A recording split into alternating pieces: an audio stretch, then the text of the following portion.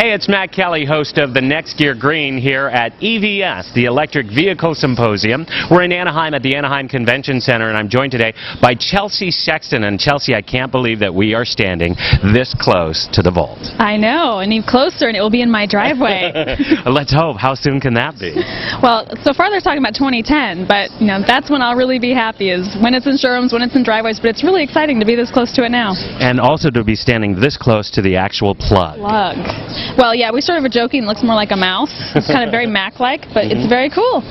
This car just really gets me so excited. And when I put it up against maybe the Prius or something like that, if I were to say everything was equal, equal, I would still buy this just for its simple styling alone.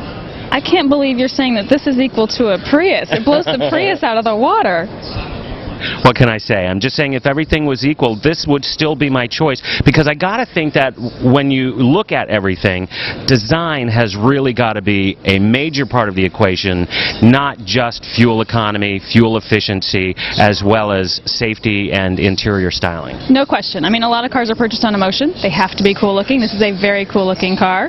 It has, you know, a lot of very unique styling, and even more importantly, it has a plug on it, which the Prius does not have and doesn't look like it'll have anytime soon.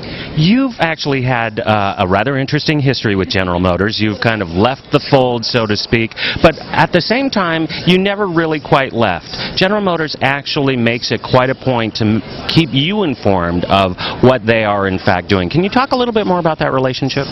Well, I think it's been an interesting relationship for sure. I used to I used to be part of the company, and I, I don't know that I'm you know universally liked within GM, but that's okay. I mean, I just sort of say what I think about what's going on, and certainly we are known for calling them out, and crushing the EV1s and the different things. And at the same time, I'm just as known for saying when I think any of the companies are doing something good. I want them all to do better. Really, what's the point of the work that I do? Mm. So I do think that this is a really good first step. It's a great concept.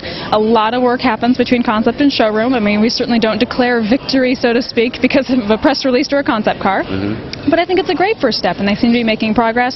It is very cool to get to stay informed. I do have lots of friends at GM and some of the other car companies too, and you know, we're looking forward to seeing how it progresses in the next couple of years. Wonderful. Your final thoughts then on this vehicle and what it means actually for the driving industry as a game changer? Oh, this would change everything. I mean, it's an absolute moonshot for the company. It's really important, really meaningful for General Motors, I think, but it's huge just for the driving public. I mean, to be able to have everything that you want in a car with no compromises and being able to drive not with petroleum, it's, it's good, clean fun is really what it is. Wonderful. Chelsea Sexton, a star of the movie Who Killed the Electric Car, here at Electric Vehicle Symposium, EVS 23 in Anaheim. I'm Matt Kelly for the Next Gear Green.